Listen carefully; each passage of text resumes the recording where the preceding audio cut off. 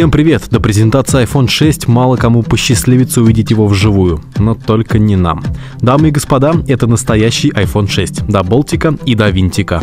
iPhone 6 получился именно таким, каким представлялся нам в образе макетов и утекших чертежей с деталями. Это 100% так. Как и предполагалось, кнопка включения и выключения переместилась на боковую грань. И там есть самое место. Из-за того, что дисплей увеличился в размерах с 4 до 4,7 дюймов, вырос и сам телефон. По сравнению с iPhone 5s, iPhone 6 кажется нормальным для 2014 года гаджетом с вполне адекватными размерами. По сравнению с прошлой моделью iPhone 6 уменьшился в толщину, но как следствие увеличился в ширину и высоту. Кстати, в руках у меня Space Gray. Цвет задней крышки iPhone 6 такой же, как у iPhone 5s. Это хорошо видно. К сожалению, заднее яблоко не стало светящимся. Но Apple вспомнили про iPhone 2G и сделали в iPhone 6 металлическое вырезное яблоко. И что интересно, само яблоко сделано из так называемого сплава металлов Liquid Metal. Это тот самый металл будущего. Его сложно поцарапать, он хорошо самовосстанавливается и отлично устойчив к коррозии. Как и ожидалось, корпус выполнен из сплавов алюминия и в верхней и нижней части покрыт пластмассовыми вставками серого цвета.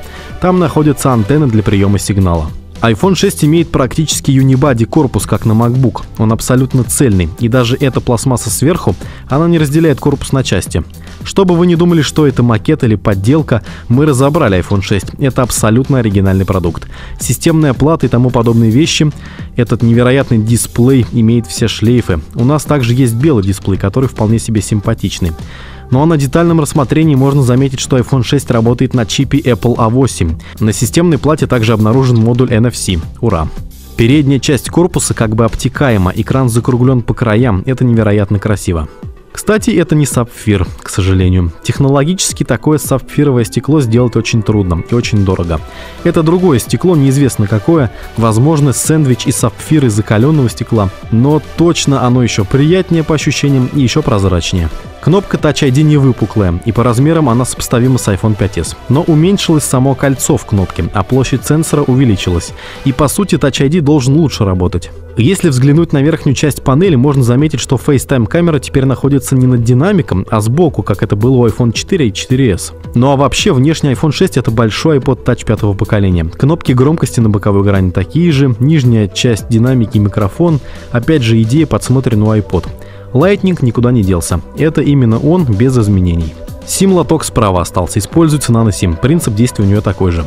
Вспышка осталась двойной, она называется Трутон. Многие беспокоились из-за этого, что она вновь круглая, можете выдохнуть, внутри там две лампочки для контраста. А вот сама камера теперь выпирает из корпуса, как на iPod Touch.